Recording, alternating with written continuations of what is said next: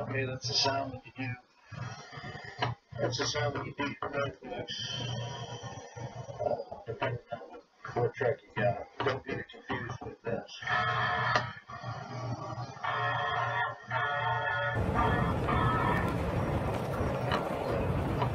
Similar, similar for sure. Hey, welcome to Attackett Adventures. Today, uh,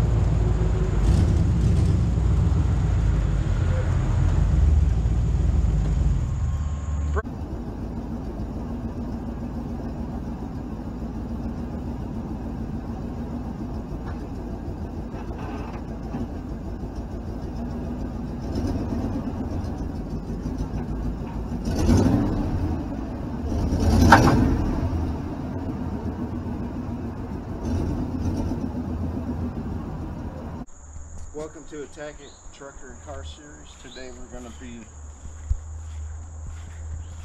we're going to be uh, looking at the at the uh, the frame on this thing and whether or not it'll spring back, which you already see the final result. No. Did it? It didn't. Yeah. No, it tried. I mean, it. Uh, if it did, you can't notice it. No, I don't think it did nothing. oh, maybe a difference. So you're, you're trying to pull the front frame up a little bit. Well, it definitely uh, messed my grass up.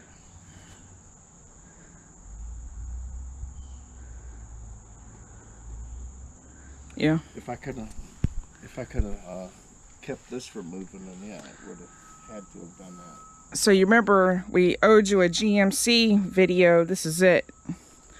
We pulled the G the car with the GMC. The GMC has some problems. We gotta do some things to it. So there'll be videos of that coming up. But um yeah, that's about what we're doing today. Oh, it sounded good for five minutes. Yeah. Once it warms up, it starts backfiring. Yep. No good. All right, thanks for stopping in. So we know a little bit less now. Okay.